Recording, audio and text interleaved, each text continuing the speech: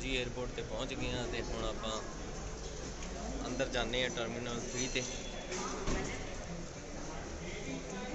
ਜਿਹੜੀ ਆਪਣੀ ਪਹਿਲੀ ਫਲਾਈਟ ਆ, ਉਹ ਹੈ ਬਿਨਾ ਵੀਜ਼ੇ ਦੀ।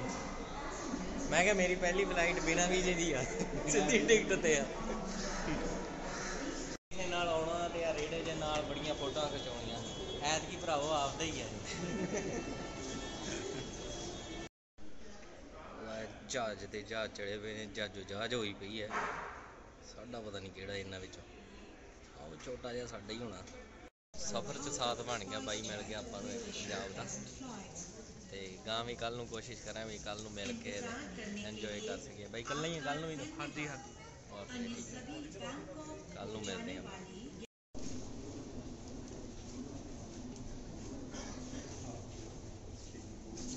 ਵੀ ਸੱਜਣੋਂ ਜਹਾਜ਼ ਲੱਗਾ ਪਿਆ।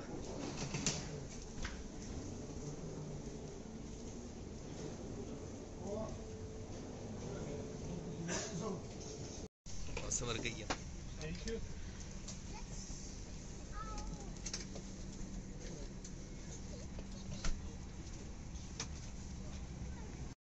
ਬਾਰੀ ਦੇ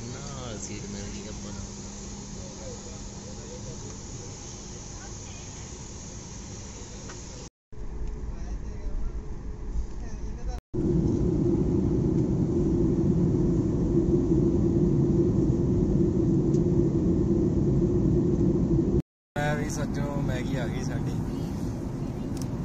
ਖਾਣਾ ਪਤੰਦਰਾ। ਆ ਵੀਰ ਨੇ ਮੈਗੀ ਖਾਧੀ ਹੁਣ ਐਕਸਪੀਰੀਅੰਸ ਦੱਸੋ। ਕਿੱਦਾਂ ਲੱਗੀ ਮੈਗੀ? ਮੈਗੀ ਦੇ ਬਹੁਤ ਹੀ ਵਧੀਆ ਜੀ। ਇੰਨੀ ਇਹ ਤੋਂ ਵਧੀਆ ਤਾਂ ਟ੍ਰੇਨ ਚ ਹੁੰਦੀ ਕਦੀ। ਹਾਂਜੀ ਹਾਂਜੀ ਇਹ ਤੇ ਹੈ। ਨਾ ਕੋਈ ਮਜ਼ਾ ਨਾ ਕੋਈ ਸੁਣਨਾ ਕੋਈ ਸਵਾਦ।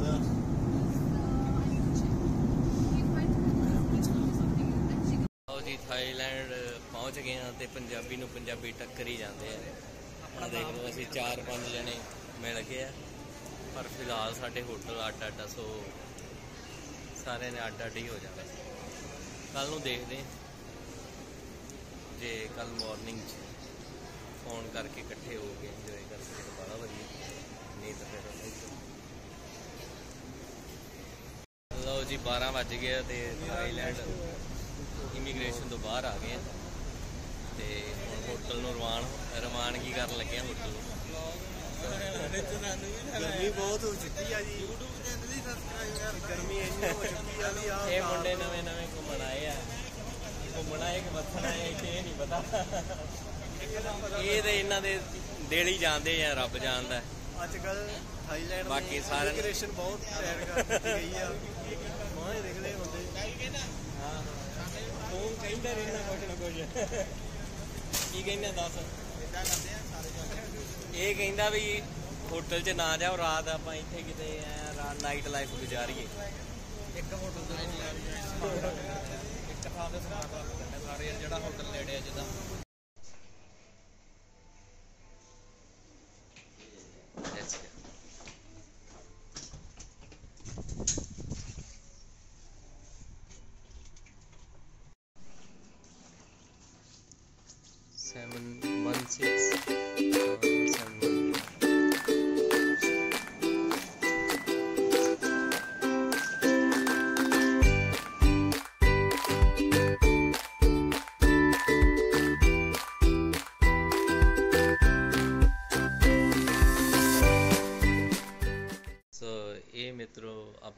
ਆਪਣਾ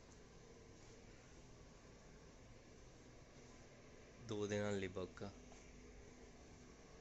ਸੋ ਉੱਥੇ ਕੋਈ ਬੰਦੇ ਮਿਲ ਗਏ ਸੀ, ਪਹਿਲਾਂ ਕਹਿੰਦੇ ਨਾਈਟ ਆਊਟ ਕਰਨਾ, ਆਪਾਂ ਇੱਥੇ ਅਸਲ 'ਚ ਗੱਲ ਇਦਾਂ ਸੀ ਕਿ ਉਹਨਾਂ 'ਚੋਂ ਇੱਕ ਨੇ ਰੂਮ ਬੁੱਕ ਨਹੀਂ ਕਰਵਾਇਆ ਸੀ, ਉਹ ਕਹਿੰਦਾ ਸੀ ਨਾਈਟ ਆਊਟ ਕਰਨਾ। ਪਰ ਬਾਕੀ ਸਾਰਿਆਂ ਦੇ ਰੂਮ ਬੁੱਕ ਸੀ, ਫਿਰ ਹੌਲੀ ਹੌਲੀ ਸਾਰੇ ਵੇਂਦੇ ਵੇਂਦੇ ਚੱਲ ਗਏ, ਫਿਰ ਮੈਂ ਵੀ ਆ ਗਿਆ। ਤੇ ਉੱਥੇ ਦੋ ਜਣੇ ਮਿਲੇ ਵਿਚਾਰੇ, ਏਜੰਟਾਂ ਤੇ ਭੇਜੇ ਹੋਏ ਤੇ ਮੈਥੋਂ ਪਾਸਵਰਡ ਲੈ ਕੇ ਵਾਈਫਾਈ ਲੈ ਕੇ ਤੇ ਉਹਨਾਂ ਨੇ ਏਜੰਟ ਨੂੰ ਫੋਨ ਕਰਿਆ ਏਜੰਟ ਨੇ ਫੋਨ ਨਹੀਂ ਚੱਕਿਆ। ਫਿਰ ਮੈਂ ਉਹਨਾਂ ਨੂੰ ਕਿਹਾ ਮੈਂ ਕਿਹਾ ਹੁਣ ਕੁਛ ਨਹੀਂ ਉਹਨਾਂ ਦਾ ਵੈਸੇ ਹੋਸਟਲ ਸੀਗਾ ਹੋਟਲ ਨਹੀਂ ਸੀਗਾ। ਮੈਂ ਕੁਛ ਨਹੀਂ ਹੁੰਦਾ। ਹੁਣ ਤੁਸੀਂ ਅਹ, ਅਹ, ਮੈਂ 300 ਦੇ ਕੇ ਆਇਆ। ਮੈਂ ਕਿਹਾ 300 400 ਚ ਜੇ- ਜਿੰਨੇ ਚ ਵੀ ਤੁਹਾਨੂੰ ਪਹੁੰਚਾਉਂਦਾ ਨਾ ਤੁਸੀਂ ਹੁਣ ਰਾਤ ਨੂੰ ਉੱਥੇ ਪਹੁੰਚ ਜਾਓ ਤੇ ਰੈਸਟ ਕਰ ਲਓ। ਉਸ ਐਡਰੈਸ ਤੇ ਤੁਹਾਨੂੰ ਪਹੁੰਚਾ ਦਿਓ ਸਵੇਰੇ ਜਾ ਕੇ ਤੁਸੀਂ ਏਜੰਟ ਏਜੰਟ ਨੂੰ ਫੋਨ ਕਰ ਲਿਓ। ਵਿਚਾਰਿਆਂ ਨੂੰ ਇੰਗਲਿਸ਼ ਆਉਂਦੀ ਨਹੀਂ ਸੀਗੀ। ਤੇ ਉਧਰੋਂ ਮੇਰੀ ਟੈਕਸੀ ਆ ਗਈ ਤੇ ਉਧਰੋਂ ਬਸ ਉਹਨਾਂ ਦੀ ਟੈਕਸੀ, ਮੇਰੇ ਖਿਆਲ 'ਚ ਉਹਨਾਂ ਨੇ ਬੁੱਕ ਕਰਾ ਲਈ ਹੋਗੀ ਕਿਉਂਕਿ ਗੁੱਡ ਮਾਰਨਿੰਗ ਸੱਜਣੋ, ਕੀ ਹਾਲ ਚਾਲ? ਤੇ ਸਵੇਰ ਦੇ ਵੱਜ ਗਏ ਨੇ ਲਗਭਗ 8 ਤੇ ਕਾਫੀ ਹੁਣ ਆਪਾਂ ਬਣਾ ਕੇ ਪੀਤੀ ਇੱਥੇ। ਬਿਕਾਜ਼ ਦੁੱਧ ਦੁੱਧ ਵਾਲਾ ਤਾਂ ਹਿਸਾਬ ਇੱਥੇ ਹੈ ਨਹੀਂਗਾ ਸੋ ਬ੍ਰੇਕਫਾਸਟ ਇਨਕਲੂਡਡ ਹੈ ਇਹਨਾਂ ਦੇ ਵਿੱਚ।